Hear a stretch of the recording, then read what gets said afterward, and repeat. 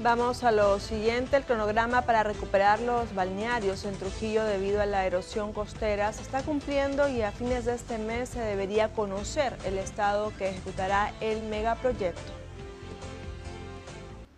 El cronograma del megaproyecto para la recuperación del borde costero de las playas afectadas por la erosión se está cumpliendo y a fines de este mes ya se conocería el estado que ejecutará la obra. Así lo dio a conocer el congresista Víctor Flores. Justamente, justamente hay cinco países que han quedado, digamos, eh, como finalistas ya en la segunda convocatoria que fue a nivel internacional y estamos esperando justamente de que esos plazos también se están cumpliendo de manera muy estricta porque le estamos dando una continuidad al proceso.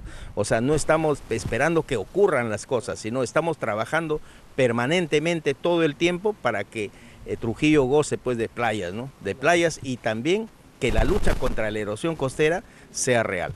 El gobernador de la Libertad, César Acuña, también confirmó que este proyecto está cumpliendo los plazos establecidos por el Ministerio de Transportes y Comunicaciones. Con la culminación de la obra se podrá recuperar los balnearios de Huanchaco, Buenos Aires y Las Delicias. nosotros no vamos a intervenir en esa, ya en ese caso de la, opción costera. Recuerden que ahí hay un proyecto ya que tiene expediente definitivo que ya lo convocaron.